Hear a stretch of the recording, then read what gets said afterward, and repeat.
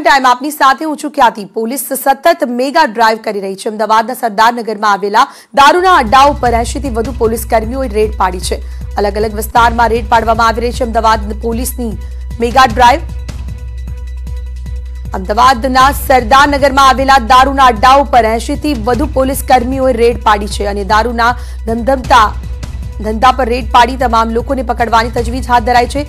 કેટલાય લાખોનો દારૂ હાલમાં નષ્ટ કરવામાં આવી રહ્યો છે. તો મહિલાઓ પણ તેમાં સામેલ છે. મહિલાઓને પણ પકડી પાડવામાં આવી રહી છે.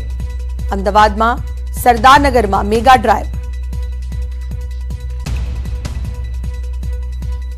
નવીન જોડાયા છે અમારી સાથે. નવીન, જે રીતે હવે પોલીસ દ્વારા રેડ પાડવામાં આવી રહી છે, સતત મેગા ડ્રાઈવ. સરદારનગરમાં હાલમાં શું છે પરિસ્થિતિ?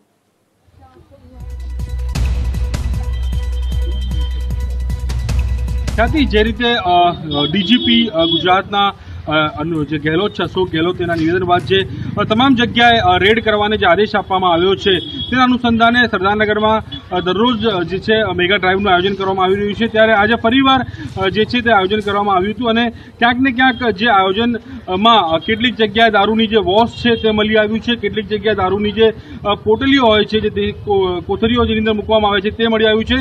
જો કે જે જગ્યાથી વોશ મળી આવ્યું છે તે જગ્યા ઉપર કેટલીક મહિલાઓ પોલીસ સાથે જે છે તેમને અ, માથાકૂટ બી થઈ અને પોલીસે ટીંગાટોળી કરીને જે મહિલાઓને પોલીસ લાવ્યા છે અને તેમની સામે પણ કાર્યવાહી કરવામાં આવશે. તો ક્યાંક ને ક્યાંક ડીજીપીના આદેશ બાદ રાજ્યભરની અંદર અલગ અલગ જગ્યાએ પોલીસ જે છે તે પોતાની કાર્યવાહી કરી રહી છે અને જેમાં સરદારનગરમાં પણ પોલીસે આજે દરોડા પાડી અને જે કાર્યવાહી છે તે કર્યું છે.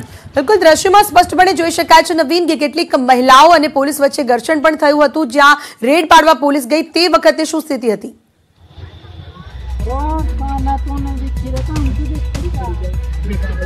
હજી એક મકાનની અંદર પોલીસે જ્યારે દરોડા પાડવા ગઈ ત્યારે દરમિયાનમાં બે બેરલ ભરીને જે છે વોશ મળી આવ્યું હતું અને તે દરમિયાન કેટલીક મહિલાઓ પોલીસ ઉપર આક્ષેપ બી લગાવ્યા હતા કે પૈસા લેવા આવ્યો છો, આમ પૈસા લઈ જાઓ છો, આ પ્રકારે આક્ષેપ બી લાગ્યા હતા. પરંતુ જ્યારે પોલીસે તેમને પોલીસને જવાની જીત કરી, કારણ કે તેમના ઘરમાંથી આ વોશ મળી આવ્યું હતું, પરંતુ મહિલાઓ ઘર ત્યાંથી જવા માટે તૈયાર નહોતા, જેના કારણે મહિલાઓ અને પોલીસ વચ્ચે જે છે તે માથાકૂટતી અને છેલ્લે પોલીસે ટીંગાટોળી કરીને રિક્ષામાં બેસાડીને મહિલાઓને પોલીસને લઈ આવી છે.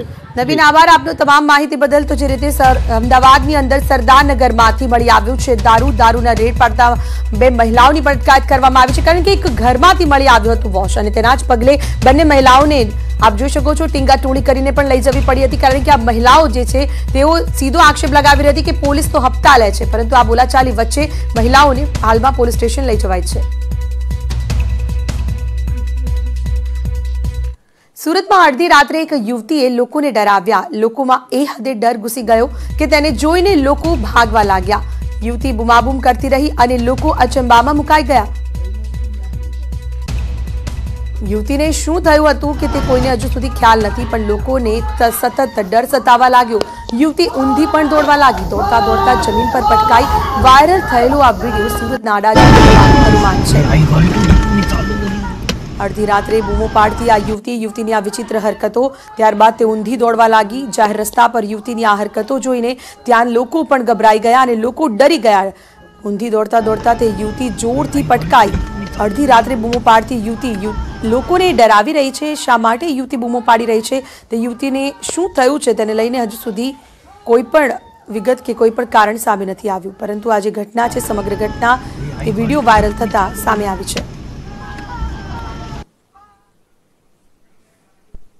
વડોદરામાં દૂષિત પાણીની સમસ્યાથી લોકો થયા પરેશાન. જ્યાં ઉશ્કેરાયેલા લોકોએ ગુરુકુળ ચાર રસ્તા પાસે ધરણા યોજી પોતાના વિરોધ પ્રદર્શિત કર્યું. મહત્વનું છે કે વડોદરાના પૂર્વ વિસ્તારની બસ્તી સોસાયટીમાં દૂષિત પાણીની સમસ્યા હોવાનો સ્થાનિકોએ આરોપ લગાવ્યો છે. છેલ્લા દસ મહિનાથી પૂર્વ વિસ્તારમાં ગંદુ પાણી આવતા લોકોએ આજે વિરોધ પ્રદર્શિત કર્યો.